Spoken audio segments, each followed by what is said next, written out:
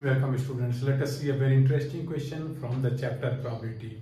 Question has been taken from NCERT book of class 12. Here question is a black and red dice are rolled.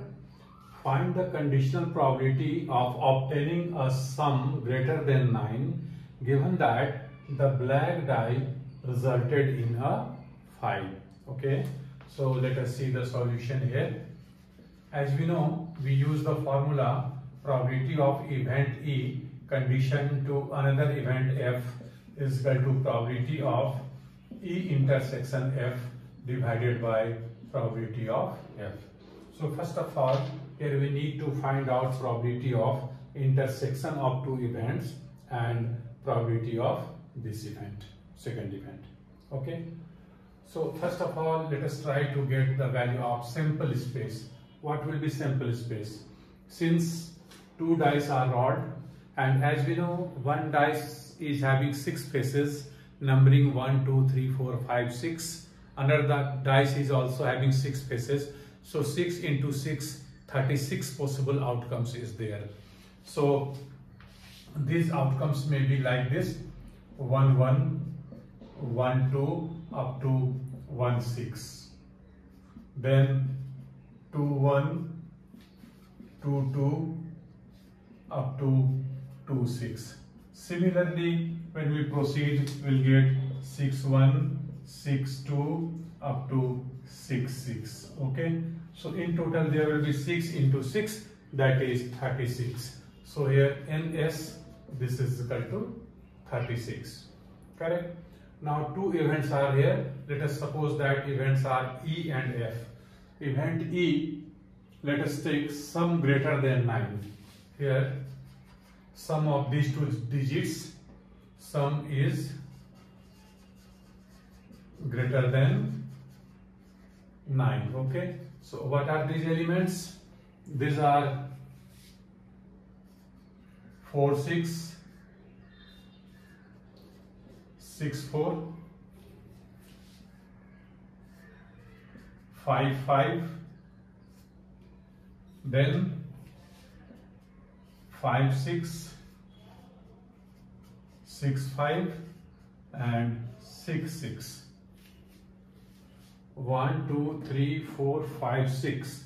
So here we are getting number of elements in event E N E is equal to 6. Similarly, we can find out elements in event F also. So if the black die resulted in a 5, the black die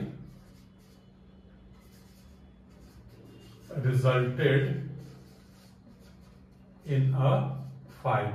So let the numbers be like this 5 1 5 2 this also 6 5 3 5 4 5 5 and 5 6 so six elements are here.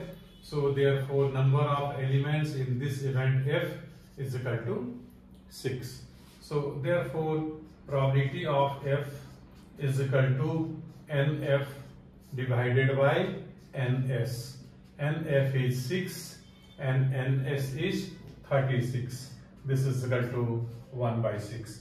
So we are getting the value of denominator PF is equal to 1 by 6.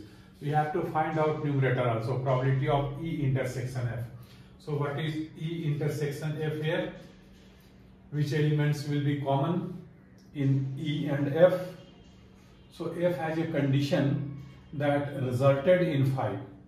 So resulted in 5, it means we are getting here these two elements 5 5 and 5 6 will be common in E and F.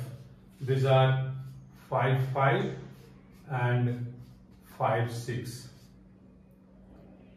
Okay, so therefore we are getting here an E intersection F is equal to 2. So therefore probability of E intersection F is equal to N E intersection F divided by ns. So this is 2 by 36. Okay. 2 by 36 this is equal to 1 by 18 correct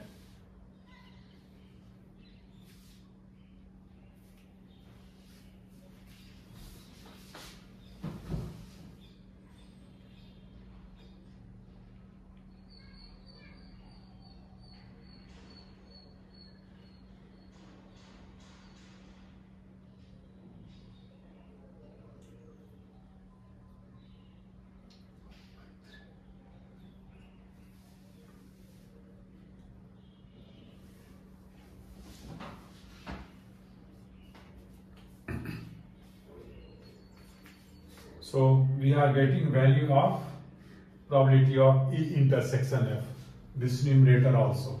So we can find out this probability very easily.